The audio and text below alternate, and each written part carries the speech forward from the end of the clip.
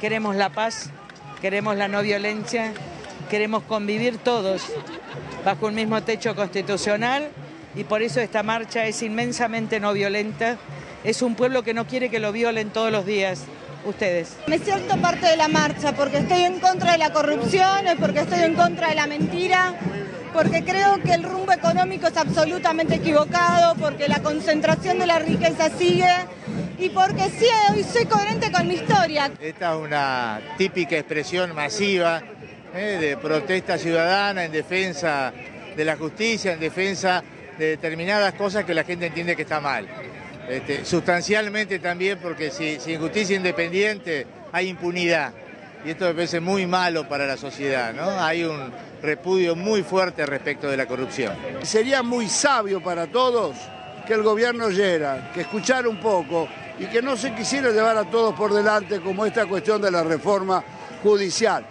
Nuestra constitución, nuestros valores dicen que el poder judicial debe ser independiente de la política y con esta reforma va a convertir al poder judicial en un apéndice de la política.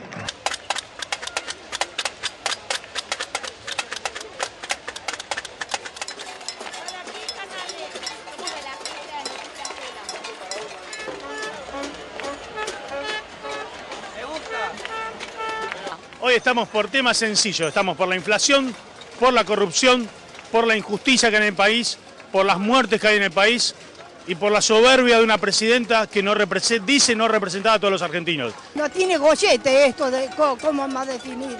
Es algo terrible. No hay seguridad, no podemos salir a la calle, tenemos que salir a las corridas con nuestros hijos, nuestros nietos, eh, eh, esperándolo hasta que ellos vienen del trabajo, de la facultad con miedo esperándola en la puerta. No sos dueña de tener siquiera una casa, yo no la tengo, pero compadezco a la gente que tiene un auto y una casa.